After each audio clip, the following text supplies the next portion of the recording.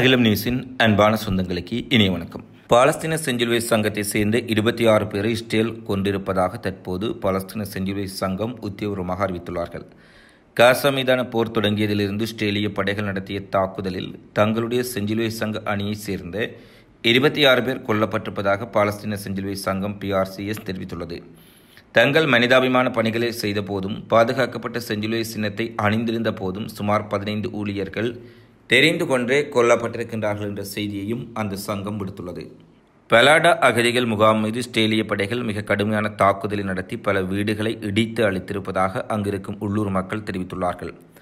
ஆக்கிரமிக்கப்பட்ட மேற்கு கிளையில் இஸ்ரேல் நடத்தும் தாக்குதல்கள் தொடர்ச்சியாக இடம்பெற்று வரும் சூழ்நிலையில் நப்லஸ் நகருக்கு கிழக்கே உள்ள பலாட்டா அகதிகள் முகாமை அதிகாலையில் புல்டோசருடன் ஸ்டேலிய இராணுவத்தினர் தாக்குதல் நடத்தியதாக பஃபா செய்தி நிறுவனம் செய்தி வெளியிட்டுள்ளது. படையினர் ஒரு பிரதான சாலையை புல்டோசர் மூலம் இடித்து தரைமட்டமாக்கி பல வீடுகளையும் இடித்திருப்பதாகவும் பிரதான சாலையையும் வீடுகளையும் இணைக்கும் தெருக்கள் இனத்தையும் சேதப்படுத்தியிருப்பதாகவும் உள்ளூர் மக்கள் கவலையுடன் தெரிவித்துள்ளார்கள். சோதனை என்ற பெயரில் கிராமத்துக்குள் நுழைந்து பல்வேறுபட்ட வீடுகளை இடித்தது மட்டுமல்ல பரவலான துப்பாக்கிச்சூடு மற்றும் கூரைகளில் ஏராளமான சினைப்பர்கள் நிறுத்தப்பட்டிருந்ததாகவும் தெருவில் சென்று வரக்கூடிய அனைத்து பாலஸ்தீனர்களும் மிக கடுமையான அச்சுறுத்தலுக்கு இஸ்ரேலிய படையினரால் உள்ளாக்கப்பட்டார்கள் என்றும் அந்த பிரதேச மக்கள் தெரிவித்துள்ளார்கள். பணைய கைதிகளின் விடுதலையில் நெதன்ஜாகு அரசாங்கம் முறையான நடவடிக்கை எதனையும் மேற்கொள்ளவில்லை என தெரிவித்து இஸ்ரேலிய தலைநகர் டெல்லவியில் தொடர்ச்சியாக நடைபெற்று வரும் இஸ்ரேலிய எதிர்ப்பாளர்கள் ஆர்ப்பாட்டத்தின் பொழுது நாட்டை நாங்கள் எரித்து விடுவோம் என ஆர்ப்பாட்டக்காரர்கள் மிரட்டல் விடுத்துள்ளார்கள். டெல்லவியில் உள்ள ஆர்ப்பாட்டக்காரர்கள் எஞ்சியிருக்கும் ஸ்ட்ரேலிய கைதிகளை மீட்க அரசாங்கம் எந்த நடவடிக்கையும் எடுக்கவில்லை என்பது குறித்து மிகுந்த கோபத்துடனும் விரக்தியுடனும் இந்த போராட்டத்தில் ஈடுபடுவதாக குறிப்பிட்டுள்ளார்கள். இப்போது காசாவில் நடத்தப்படும் யுத்தத்தினால் அவர்களுடைய குடும்ப உறுப்பினர்களுடைய உயிர்கள் பாதிப்புக்குள்ளாகி இருப்பதாகவும் பேரணியில் ஈடுபட்டவர்கள் தெரிவித்துள்ளார்கள். அவர்கள் அமைதியான பேரணிகளை நடத்துவதில் சோர்வாக இருப்பதாக கூறுகின்றார்கள். அவர்கள் அனைத்து இஸ்ரேலியர்களையும் தெருவில் இறங்கி நாட்டை அழிக்கவும் ஜனநாயகத்துக்கு குரல் கொடுக்கவும் அழைப்பு விடுத்துள்ளார்கள். முன்னதாக பெஞ்சமின் நெதன்ஜாகு பதவி விலக வேண்டும் என்றும் உடனடியாக தேர்தலை நடத்த வேண்டும் என்றும் அவர்கள் வலியுறுத்தி வந்தார்கள். இப்போது அவர் உடனடியாக தூக்கி எறியப்பட வேண்டும் என்று குறிப்பிடுகின்றார்கள். அது நடக்கும் வரை இந்த பெரிய அளவிலான போராட்டங்கள் தொடரும் என்றும் இன்று நேற்றைய தினம் நடைபெற்ற போராட்டத்தில் எதிர்ப்பாளர்களுக்கும் ஸ்ட்ரேலிய காவல்துறையினருக்கும் இடையே மிக கடுமையான மோதல் ஏற்பட்டதாகவும் அங்கு பல வன்முறை சம்பவங்கள் பதிவாக இருந்ததாகவும் டெல்லவில் இருக்கக்கூடிய செய்தியாளர்கள் நேரடியாக தெரிவித்துள்ளார்கள். டெல்லவில் போராட்டக்காரர்கள் அயலான் எனப்படும் ஒரு பெரிய நெடுஞ்சாலையை தடுக்க முயன்ற போது இந்த நெடுஞ்சாலையை தடுக்க முயன்றவர்களுக்கும் இராணுவத்தினருக்கும் இடையில் மோதல் வெடித்துள்ளது.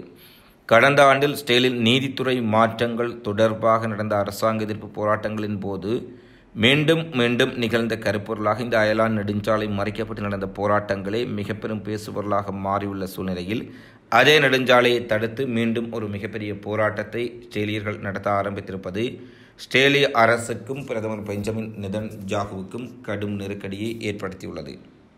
ஸ்டேல் மீது ஆளில்லா விமானங்களை கொண்டு தாம் கடுமையான தாக்குதலை நடத்தியுள்ளதாக ஈராக் எதிர்ப்பு இயக்கம் தெரிவித்துள்ளது.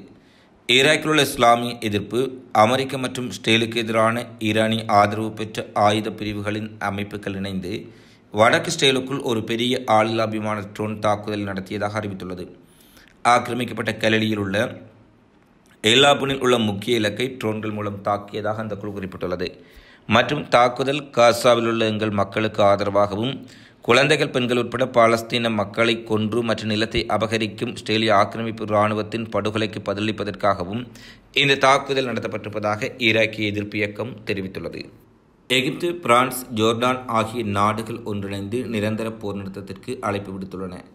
எகிப்து பிரான்ஸ் மற்றும் ஜோர்டான் வெளியுறவு அமைச்சர்கள் காசாவில் உடனடி போர் நிறுத்தம் மற்றும் ஹமாஸ் கைதிகள் அனைவரையும் விடுவிக்க அழைப்பு விடுத்துள்ளார்கள். எகிப்து தலைநகர் ஹெய்ரோவில் மூன்று ராஜதந்திரிகளும் சனிக்கிழமை சந்தித்த பின்னர் இந்த முறையீடு செய்யப்பட்டது. ஒரு கூட்டு செய்தியாளர் மாநாட்டில் பேசிய பிரான்சின் வெளியுறவுத்துறை அமைச்சர் ஸ்டீபன் சேஜோன் தனது அரசாங்கம் ஐநா பாதுகாப்பு கவுன்சிலில் போரின் அரசியல் தீர்வை அமைக்கும் வரைவு தீர்மானத்தை முன்வைக்கும் என்று ஏஎஸ் செய்தி நிறுவனம் தெரிவித்துள்ளது. இந்த உரையில் ஸ்டேல் பாலஸ்தீன மோதலில் இரு நாடுகளின் தீர்விக்கான அனைத்து அளவுகோல்களும் இருக்கும் என்றும் அவர் குறிப்பிட்டுள்ளார்.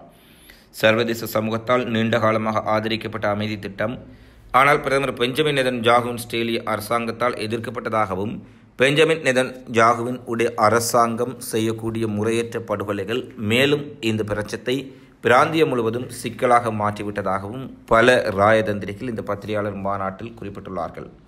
ஈரானுக்கு அண்மையில் விஜயம் செய்திருந்த இஸ்லாமிய ஜிகாத்தினுடைய தலைவர் தாங்கள் இஸ்ரேலுக்கு எதிரான போரில் வெற்றியை பதிவு செய்திருப்பதாக தெரிவித்துள்ளார்.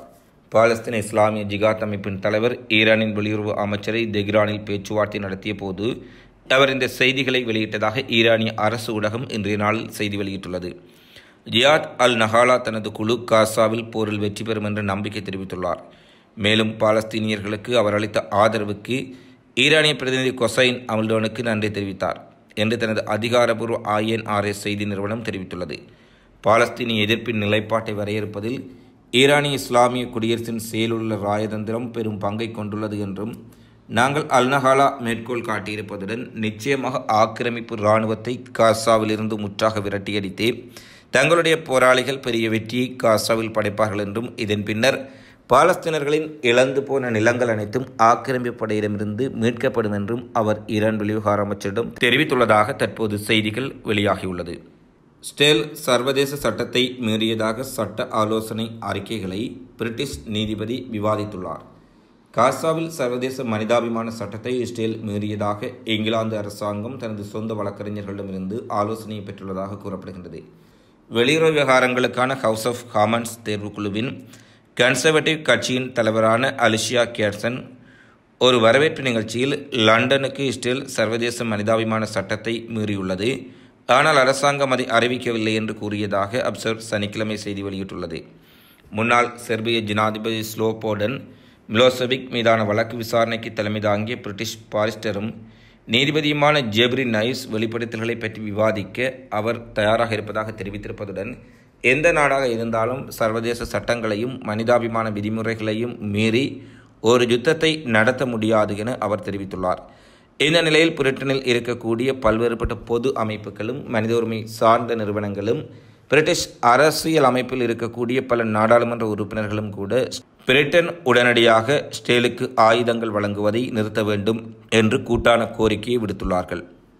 அமெரிக்கா ஸ்டேலுக்கு வழங்கும் புதிய ஆயுத தொகுப்பு ஆயுதங்களை கொண்டு செல்லக்கூடிய அமெரிக்காவின் போர்க்கப்பலுக்கு எதிராக சான் பிரான்சிஸ்கோவில் கூடிய நூற்றுக்கணக்கான மக்கள் காசா நோக்கி செல்லும் அமெரிக்க போர்க்கப்பலுக்கு முன்பாக மிக பெரும் ஆர்ப்பாட்டத்தை நடத்தியுள்ளார்கள். இனப்படுகொலை செய்வதற்காக ஆயுதங்களை வழங்காதே இனப்படுகொலை செய்யப்படுவதை நிறுத்துங்கள். இனப்படுகொலை நாடு ஸ்டேலுக்கு அமெரிக்கா ஆயுதங்களை வழங்கக்கூடாது என்று கோஷங்களை எழுப்பியபடி காசாவுக்கு கப்பலில் ஆயுதங்கள் ஏற்றப்பட்டு தயாரான நிலையில் அந்த கப்பலை இடைமறித்து சான் பிரான்சிஸ்கோ துறைமுகத்துக்கு முன்பாக மக்கள் மிகப்பெரிய போராட்டத்தில் ஈடுபட்டதாகவும் இதனால் அங்கு இருந்த கடற்படையினருக்கும் போராட்டக்காரர்களுக்கும் இடையில் முருகல் நிலை ஏற்பட்டதை அடுத்து எட்டு போராட்டக்காரர்கள் கைது செய்யப்பட்டுள்ளதாகவும் தெரிவிக்கப்பட்டுள்ளது. லண்டனில் பாலஸ்தீன ஆதரவு பேரணியில் ஆயிரக்கணக்கான மக்கள் உணர்வுடன் கலந்து கொண்டுள்ளார்கள். காசாவில் ஸ்டேலின் போருக்கு எதிராக இங்கிலாந்து தலைநகரில் சமீபத்திய வெகுஜன ஆர்ப்பாட்டத்தில் ஆயிரக்கணக்கான பாலஸ்தீன சார்பு எதிர்ப்பாளர்கள் லண்டனில் திரண்டு வந்துள்ளதாக தெரிவிக்கப்பட்டுள்ளது. நிகழ்வை ஏற்பாடு செய்த பாலஸ்தீன ஒற்றுமை பிரச்சாரம் இரண்டு லட்சத்துக்கும் அதிகமான மக்கள் உடனடி அழைப்புகளுக்கு ஆதரவாக வந்ததாக கூறியது. போருக்கு முற்றுப்புள்ளி வைத்து ஸ்டேலுக்கு ஆதரவான எதிர் எதிர்ப்பாளர்கள் சிறிய எண்ணிக்கையில் வந்ததாகவும் இரண்டு கூட்டங்களையும் பிரிக்கும் போலீஸ் வரிசைகள் லண்டனின் பெருநகர காவல்துறை அவர்கள் நான்கு பேரை வெறுக்கத்தக்க குற்றம் பொதுகொழுங்கு மற்றும் பயங்கரவாத குற்றங்களாக கைது செய்திருப்பதாகவும் லண்டனில் இதுவரை இல்லாத அளவுக்கு மக்கள் மத்தியில் பாலஸ்தீன மக்களுக்கு ஆதரவான நிலைப்பாடும் ஸ்டேலின் இனப்படுகொலைக்கு எதிரான மனப்பாங்கும் எழுந்திருப்பதாக அங்கிருக்கும் செய்திகள் தெரிவித்துள்ளன. தங்களுடைய நாடு சர்வதேச அரங்கில் மிக பெரும் நெருக்கடிக்குள் சிக்கியுள்ளதாக முன்னாள் ஸ்டேல் வெளிவிவகார அமைச்சர் தெரிவித்துள்ளார்.